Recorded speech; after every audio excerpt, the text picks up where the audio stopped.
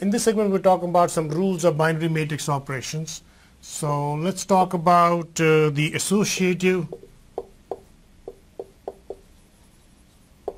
uh, law of multiplication.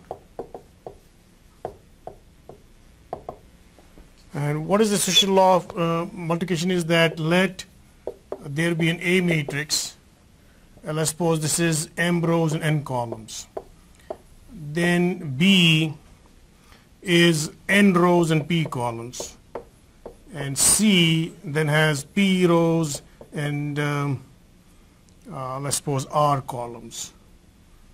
So we got three matrices m rows and n columns n rows and p columns and p rows and r columns. So the number of columns here are same as the number of rows here and the number of columns here are same as the number of rows here so B3 matrices, B3 matrices.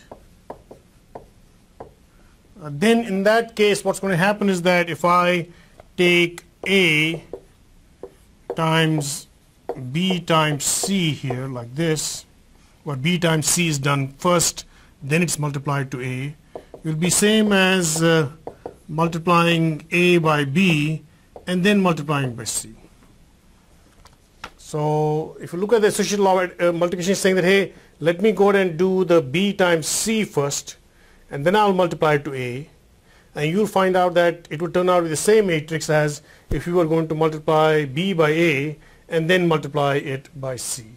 And these orders are extremely important because you can very well see that if this is m by n and this is n by p and this is p by r only then we'll find out that hey these matrix multiplications are valid. Uh, same thing here, this m by n here, n by p here, and p by r here. Only then those matrix multiplications are valid. And then the resulting matrix will be m rows and r columns. So if we, if we call uh, this to be, let's suppose D uh, to be A times B times C, then because this is m rows and n columns, this is n rows and p columns, and this is p rows and r columns.